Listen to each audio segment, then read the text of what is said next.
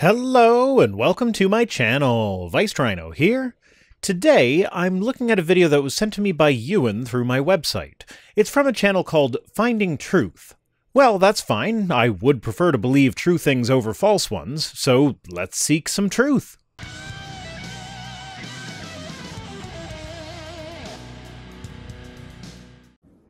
Does evolution provide a valid explanation for the existence of multicellular life? It sure does.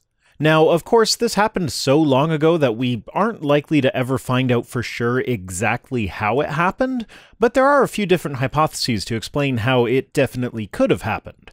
So, for starters, the development of multicellularity as a stably heritable trait has been demonstrated to be rather easy. In just one year, single celled algae developed multicellularity as a defense mechanism against a filter feeding amoeba. They had five colonies of algae, and two of them went multicellular, each in a different way, and each was stably heritable and remained so for at least four years after the initial experiment, even when removed from the presence of the amoeba, thereby removing the selection pressure. And the stably heritable bit is important. You see, unicellular life had a 1 to 2 billion year head start on multicellular life, so it had already adapted to the different environments found on Earth, which means that, while multicellularity might provide an advantage sometimes, it wouldn't necessarily provide an advantage all the time. If a single mutation led to multicellularity, then that multicellular organism is now one single mutation away from becoming unicellular again, and the closely related unicellular organisms would already be well adapted for that environment. So, what is needed is some sort of ratcheting mechanism, a mutation that provides a distinct advantage for the newly multicellular organism that would not be possible as a unicellular organism. So, for instance, if the group of cells develop the ability to divide labor, having other cells do some of the work for them, in return for them doing some different work for the other cells. For instance, one group could grow an important molecule while another can grow a different essential compound. Then that specialization gives them a distinct advantage over their unicellular cousins, meaning that the selection pressures will stop them from returning to unicellular life. At the end of the day, the more research that is being done in the matter, the easier it looks like the transition to multicellularity was. It only happened once each for plants and animals, but fungi appear to have developed multicellularity independently about a dozen times, and algae seems to have developed it at least three times, and in addition to the algae experiment that showed the evolution of multicellularity in a single year, there have been other similar experiments. One, with a single-celled strain of yeast, had multicellular clusters develop in in less than two months, which, again, was stably heritable for more than 3,000 generations after that, and eventually led to the development of a new mode of reproduction where some of the cells would go through apoptosis, essentially killing themselves to allow the rest of the group to reproduce, which is a rudimentary version of cell differentiation, where the different cells develop different jobs. So at the end of the day, we have seen the development of multicellularity several times in lab settings, and we know of at least 25 times when it developed independently in the wild, and many of the genes that are important for multicellular development have their precursors in their unicellular cousins. Good day, everyone.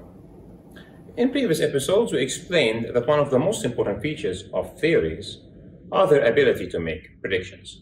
Agreed. If a theory doesn't make predictions, then there's no way to test the validity of the theory. A theory that makes useful prediction is a useful theory. But a theory that makes predictions that then turn out to be false, meaning that when you test those predictions in reality, you find that the predictions are in contradiction with reality.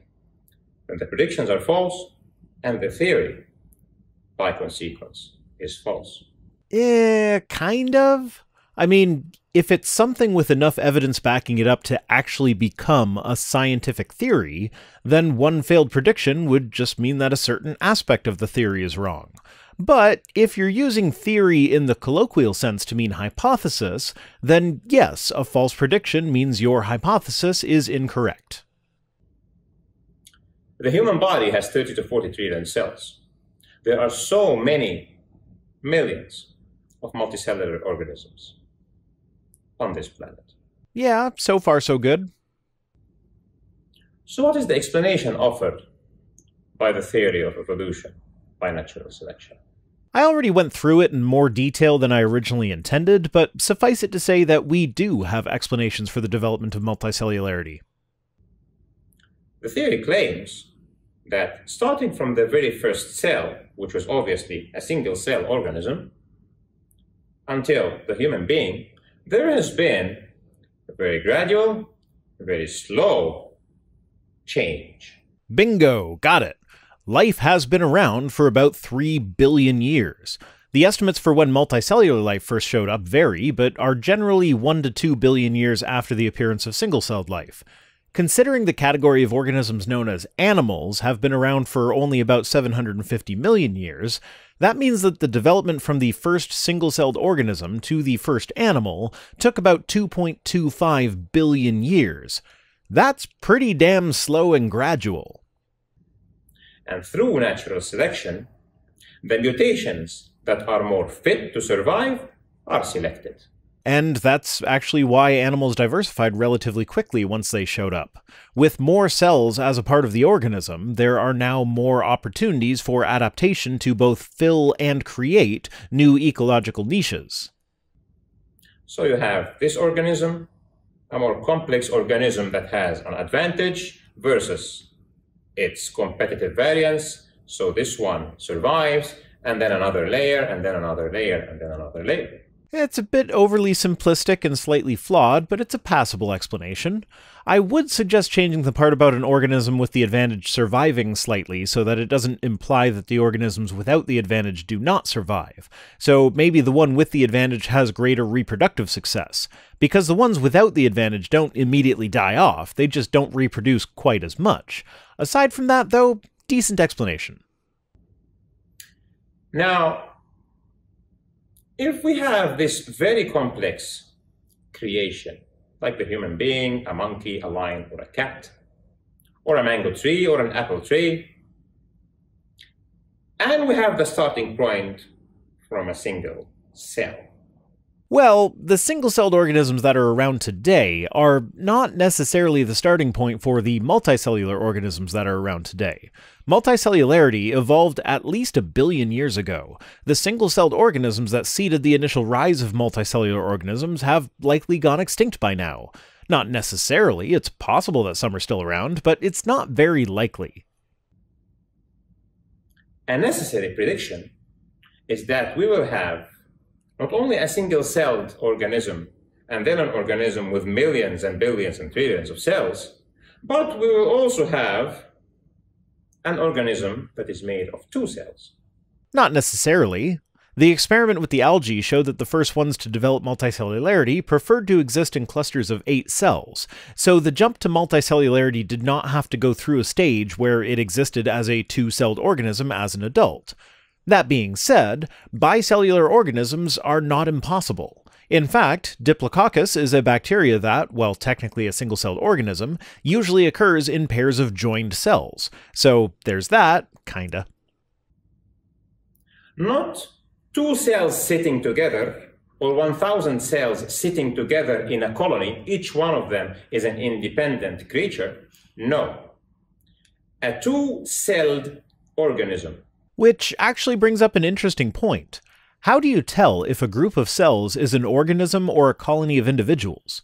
The main distinction is cell differentiation. In a truly multicellular organism, we expect to see different cells doing different specialized jobs. And there's also the reproduction method. For a single celled organism, one cell reproducing is synonymous with the whole organism reproducing. But for a multicellular organism, individual cells within the organism may reproduce without the entire organism reproducing. But here again, we're talking about what we see today in complex multicellular and unicellular organisms. If we're extrapolating into the past, before life diversified quite as much as it has, we would expect to see simpler versions of this. For instance, the yeast experiment that I mentioned earlier. It developed a rudimentary form of cell differentiation, with specific cells slated to undergo apoptosis in order to allow for reproduction. That's not a great example of differentiation because it's not very well developed, but that's why it actually is a great example of how cell differentiation could have begun. It started out with a fairly minor change, like the one observed in the yeast, and gradually specialized further over time. In the algae, I'm not aware of any cell differentiation that happened for them, but among the multicellular populations, they observed four new distinct life cycles that developed, some of which did still have a unicellular stage. But is that really surprising? After all, humans still have a unicellular stage, and we are undoubtedly multicellular. The algae in that experiment were said to have evolved simple multicellularity, all of the cells within the multicellular strains were contained within an extracellular matrix, or ECM, indicating that they had grouped together through cell division within the ECM rather than through colonial behavior of gathering together after reproduction and all of the cells within the ECM are genetically identical and function as a single unit as far as selection pressures are concerned. What it all comes down to is that the line between single celled organisms behaving as a colony and multicellular organisms might seem obvious on the macro scale, but on the small scale, it can be fuzzy at times. Which, if you think about it, is exactly what would be expected if this is all the result of a very gradual evolutionary process and then three-celled organisms. No, not really. With how cell division works, if we're expecting multicellular organisms to exist at every level of development, it would be a four-celled organism next. I mean, it certainly is possible for a three-celled organism to exist, but I wouldn't expect it to, and I don't know of any. And then four-celled organisms. Four-celled would be the logical progression from a two-celled organism, yes. Also, there is a species of multicellular algae that only has four cells. And each of these cells is an integral and an essential part of the organism. This cell is doing this function, and this other cell is doing this other function. So, you want to see advanced cellular differentiation in an organism that is supposed to represent the most basal multicellularity? That seems more than a bit unreasonable. Cellular differentiation would also have evolved gradually. You seem to have a grasp of the gradual nature of evolution when it comes to developing multicellularity as a trait, but why would we suddenly expect fully functional differentiations to show up immediately? They would also be gradual. And then, as more evolution takes place, cells get more specialized, they magically arrange themselves into organs? There is nothing magical about it. Organs usually evolve through a process in which an organism will develop a new functional potential in one of its tissues, combined with the development of a novel structure. These two processes do not necessarily have to happen in tandem, though they certainly could. New functional potential is when a mutation gives rise to, if not an actual new function, at least the potential for a new function. So, for instance, in the E. coli long term evolution experiment, one culture of E. coli developed the ability to metabolize citrate aerobically after 31,000 generations. When the phylogenetic history of the citrate metabolizing E. coli was traced, it was found that a precursor mutation occurred around generation 15,000, without which the final mutation that allowed them to metabolize the citrate would not have been possible. The first mutation had no apparent effect on fitness, and so took some time to fix itself in the population, but once it was there, the jump to utilizing the new food source became rather trivial. Now, of course, we're talking about a single celled organism with E. coli, so they're not about to develop new organs, but I'm just using them to illustrate a point. A mutation that seems to do nothing can be the precursor to a mutation that seems to cause a large evolutionary jump out of nowhere, and that's the kind of mutation that I'm referring to as having new functional potential. It starts the process of developing a new function. It likely won't be some drastic change that starts a brand new, fully developed function from scratch. And as far as novel structures go, these seem to be rather easy to develop through mutations in the Hox genes and their regulators. Hox genes control the body plan, and to give an example of just how easily they can mess with the body plan, picture a simple programming loop. So here's a basic loop in C, which makes more sense than writing a C loop in BASIC. I promise there are three people laughing at that right now. For those not programming savvy, I'll explain what this all means. We start out by declaring the variables. In this case, we have a variable that will store an integer named num, with the starting value of 0. The loop is everything in between the squiggly brackets, with the while statement telling the program the conditions in which it should continue the loop. So in this case, as long as the integer stored in the num variable is less than 5, it will repeat the loop. In the loop, we have the program calling a function, which I just made up, and we're just going to have to pretend that this function is responsible for building a body segment. So every time the program runs through the loop, it builds a body segment. So let's say that's a vertebrae on a snake. The num++ at the end just adds 1 to the integer being stored in num. So the first time through the loop, the 0 becomes a 1. What this little bit of code will do is run through the build.segment function five times before moving on to the next section of code. Now, if we simply take that 5 in the conditions of the loop and change it to a 6, we have it running through the loop 6 times instead of 5 and building 6 segments. So with one single point mutation, we've added a whole other segment complete with bone, blood vessels, nerves, muscle tissue, and everything else.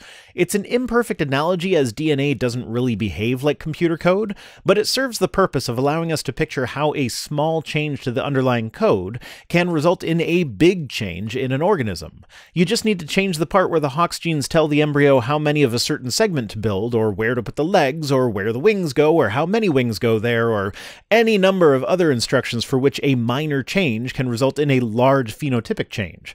Sometimes changes like this will work well with one of the potential function changes, creating a structure in which the function now has an opportunity to work. And boom, you have the makings of a new organ. And each organ will do a specific function. They magically communicate the product of each organ and gives it to the other organs so that the whole organism survives and so forth and so forth. Again, it's not magic, it's chemistry enzymes, hormones, and neurotransmitters. Early life would have been able to do without, but as soon as basic communication between organs evolved, that organism would have had a substantial advantage over others, allowing it to lead a healthier and longer life, with less risk of organ failure because a different organ released too much of whatever compound it was making without the rest of the body being able to tell it to stop. Will he manage to connect the dots between how gradually multicellularity would have evolved and how gradually everything else would have evolved as well? Or will he continue to insist that fully functioning complex systems showed up instantaneously? To find out, tune in tomorrow, same Rhino time, same Rhino channel.